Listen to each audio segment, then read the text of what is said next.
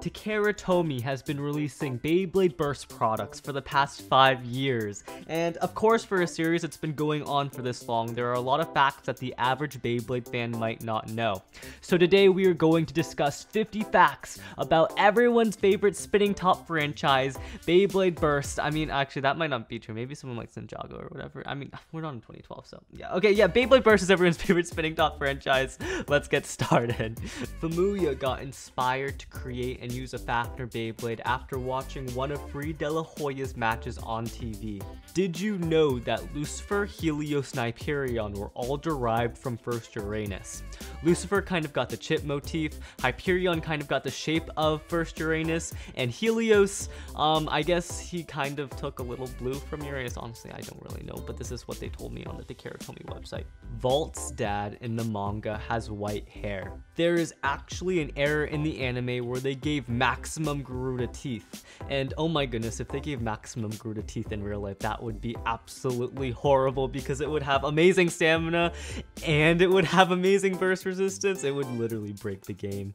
In the manga, one of Rantaro's magazines is a CoroCoro magazine, the magazine that shows off the new Beyblade manga chapters and occasionally reveals new Beyblade products.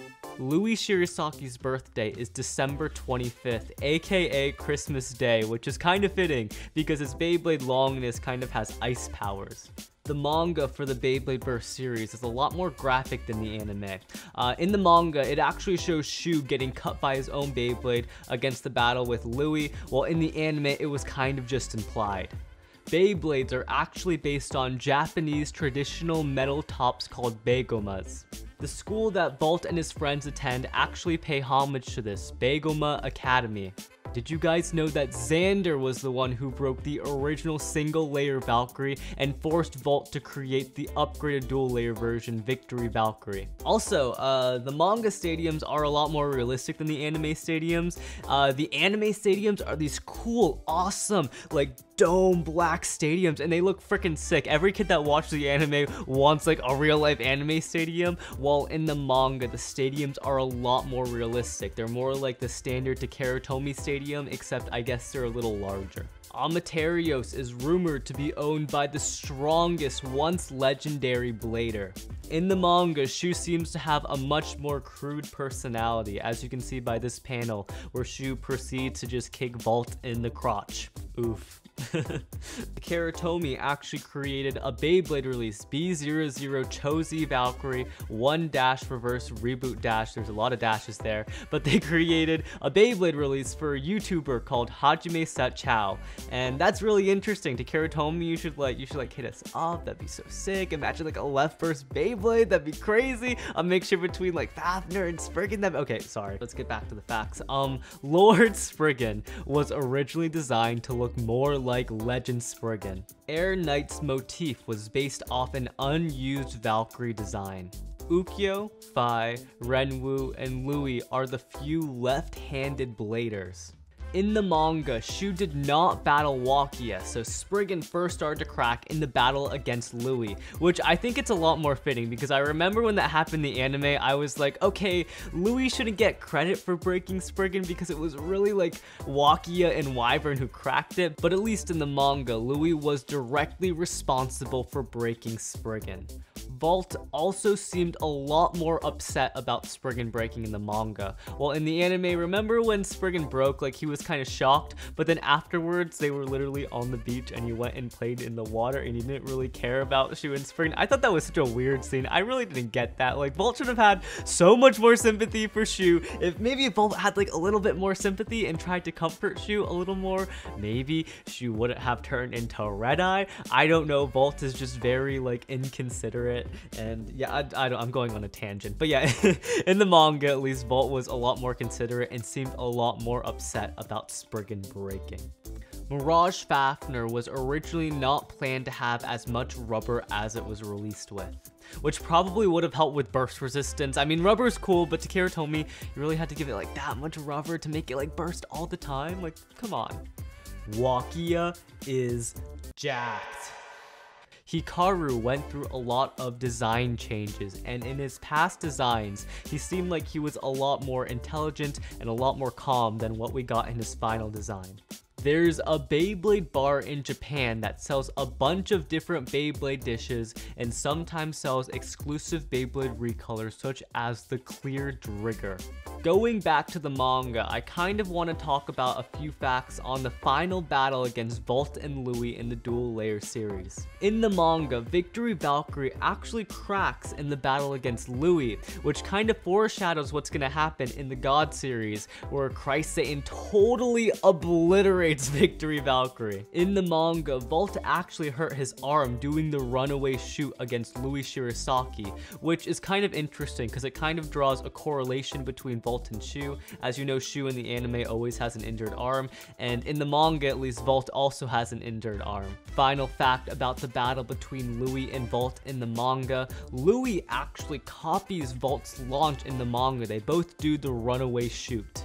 After the end of the Beyblade Burst Dual Layer series in the manga, it actually foreshadows Shu becoming evil. Curse Satan was originally designed to only have four wheels. The manga implies that the plastic generation and the burst generation take place in the same universe. When Genesis and Apocalypse were first released, people speculated that they were the GT evolutions of Trident and Excalibur, which is really weird to think about. Some people also believe that Knockout Odin was the GT evolution of Achilles before we officially got Union Achilles. Which, I can kind of see that, like they both have like the dual sword thing. Cisco, Lui, Trad, Shu, Rantaro, Ken, and Daigo all appeared in the Beyblade Burst GT manga, but not the anime. Duo Eclipse and Brave Valkyrie are both based off of Beyblade design competition entries. Hoji never appears in the manga with Horosude. Twin Nemesis in the anime uses Jaggy instead of the stop combo which uses Ultimate Reboot. Jin, the owner of Jail Jormungand, tried to join BC Soul. Blind, the owner of Dread Bahamut, never won one major battle in the anime. Even though he had that really cool special move where he turned his Beyblade into a Bey Wheel, he still never won. He's just that bad of a blader, what can I say? Shu Kurenai shares the same last name as a character from Beyblade Burst Zero G, Ren Kurenai. Here are all the time skips between each Beyblade Burst series. From Burst to God, it was a few months. From God to Cho-Z, it was two years. From Cho-Z to GT, it was three years. And finally, from GT to Sparking, it was one year. Free was never defeated in the Beyblade Burst manga. Speaking of Free, did you guys know that Free is named after Oscar De La Hoya, a professional boxer? Christina, the owner of BC Soul, is half Japanese and half Spaniard the Extreme Dash driver that released in Random Booster Volume 22 on Super Satan. That sounds like a horrible, why they named something like that. But yeah, the, the Extreme Dash driver that released on that Beyblade was actually made out of clear rubber and is said to have softer rubber and better grip on the stadium than any other Extreme driver released before it. Dead Phoenix and Big Bang Genesis never appeared in the manga. Minoboros is the only Beyblade to keep the same driver two evolutions in a row. The single layer Minoboros comes with Quake, and the dual layer Mad Minoboros also comes with Quake. The GT version of Longinus, Zwei Longinus, originally had a rounder design with four blades around the same size, kind of like Bloody Longinus, uh, but they later changed it because they wanted it to look more like the original Lost Longinus. The gold on Imperial Dragon's chip was designed to blend into the gold on the master layer.